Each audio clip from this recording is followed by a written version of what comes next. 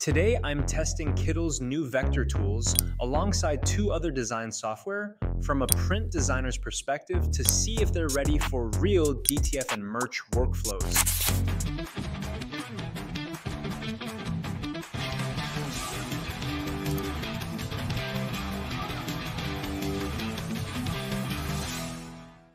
To start the design process, let's find the right font. Kittl offers a wide range, vintage, bold, modern script, so it's easy to match the style you need.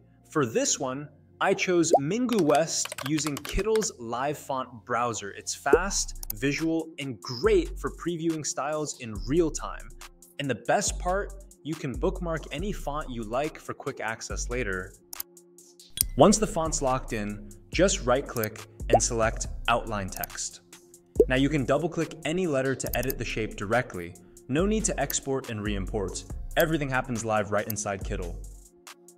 After outlining the text, just double click any letter to access the nodes.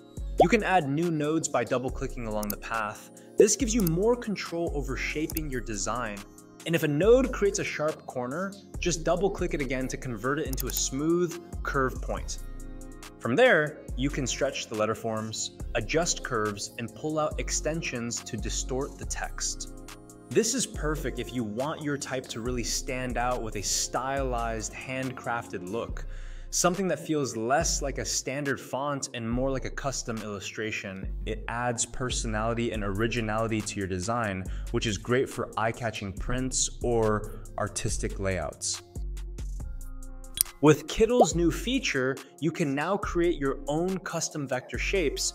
I use the pen tool to draw extra drip elements and then merge them with the letters using the shape builder tool.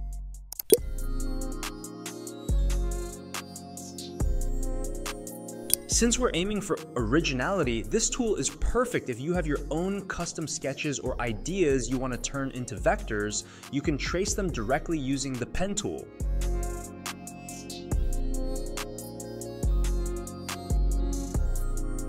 Just a quick note, Kittl's pen tool has a fixed stroke width, meaning you can't adjust the thickness of lines like in other design tools.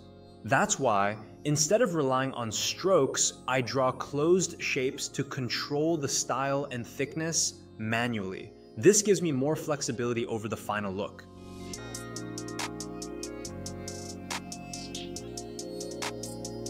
Once you're happy with the design, clean it up and export as an SVG, ready for DTF or screen printing.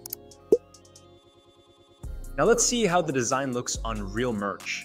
Kittl has a built-in mockup feature, so I tested the dripped design across different items to see how it holds up. I tested the design on a hoodie, t-shirt, tote bag, cap, and sticker sheet.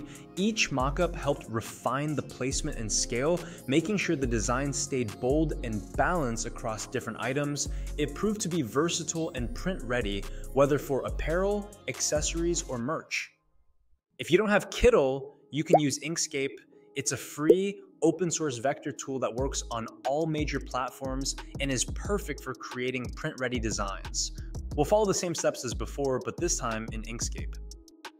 I'm still using the Mingu West font. Just install it on your computer and Inkscape will automatically detect it in the text tool so you can get started right away. Once your text is ready, go to Path, Object to Path to convert it into editable vector shapes.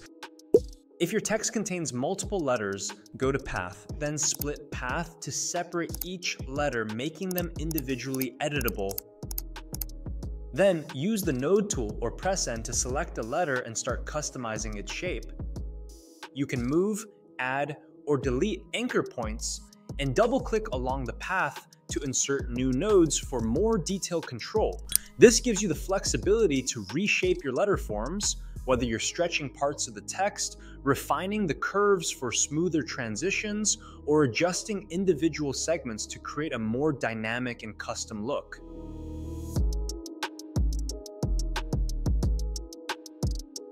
Just like creating custom shapes, you can use the pen tool for this as well.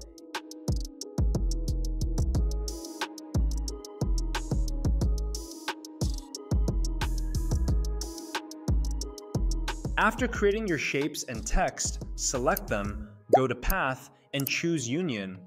This will combine the shapes with the text, merging them into a single vector shape. For custom sketches, Inkscape has a feature called Custom Stroke Width that makes your lines look more natural, almost like they were made with a brush. To do this, use the pen tool, then go to the shape option in the top menu and select ellipse. Make sure to adjust the scale settings so the stroke fits your design style. This is one of Inkscape's best features for giving your vector lines a more organic hand-drawn feel.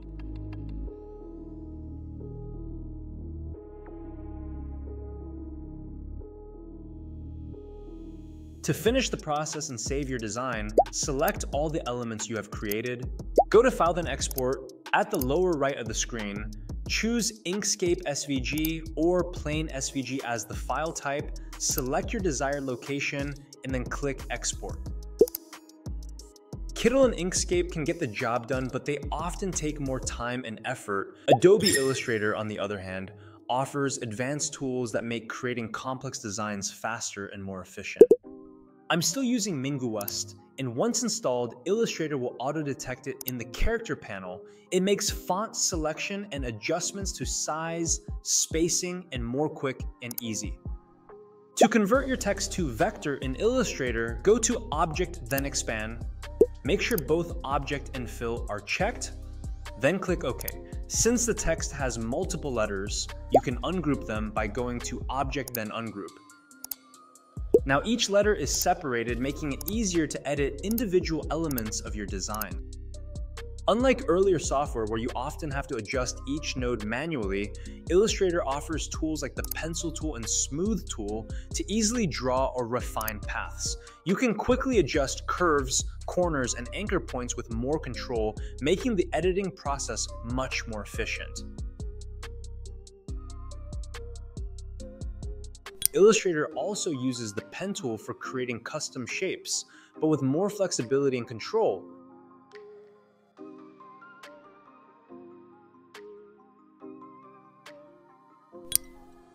To combine these custom shapes, go to Window and select Pathfinder. Under Shape Modes, click the Unite icon. This will merge all selected shapes into one clean vector object. For custom sketches, Illustrator provides powerful tools that make vectorizing feel more natural. Start with the pen tool to draw your shapes or lines, then use the width tool to adjust the stroke thickness. By clicking and dragging on any part of the path, you can create dynamic brush-like strokes that mimic hand-drawn sketches while keeping the design fully editable and scalable as vectors.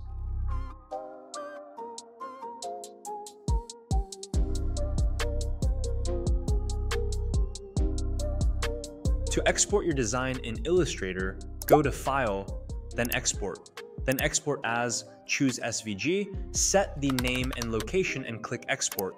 Adjust the SVG options if needed, then click OK to save. Each tool has its own strengths, whether you're a pro, on a budget, or just need something quick and easy. It really comes down to your workflow and how deep you want to go with vector editing. Let me know in the comments which one you use, or if there's another tool you want me to check out. Thanks for watching. See you in the next one. If you found this tutorial helpful, hit like, subscribe, and turn on notifications so you never miss a new tip. Want more? Click the link and unlock something awesome. Visit us at transfersuperstars.com, and I'll see you in the next tutorial.